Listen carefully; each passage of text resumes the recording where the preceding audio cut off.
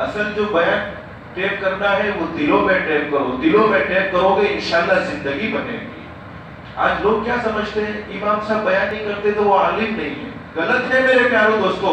असल जो फिक्रमंद आदमी वो है, जिसकी दिल की फ़िक्र हो। ज़ुबान से तो आदमी कुछ भी कह दे, लेकिन दिल में फ़िक्र होना चाहिए। दिल में एहसास होना चाहिए।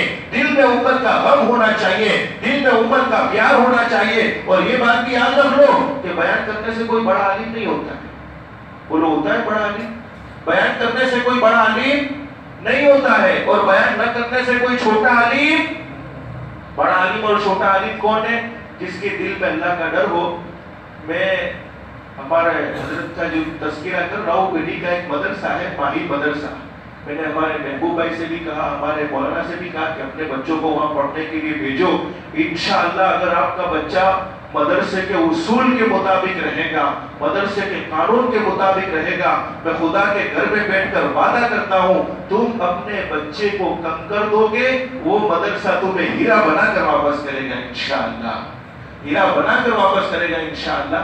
तो मदरसे में हमारे उस्ताद मोहतरम बड़े नेक दिल उस्ताद हज़रत मौलाना अफजल साहब पालनपुरी मजाजरी दामद बनका दो, बड़े ज़बरदस्त मुशफिक उस्ताद थे मेरे।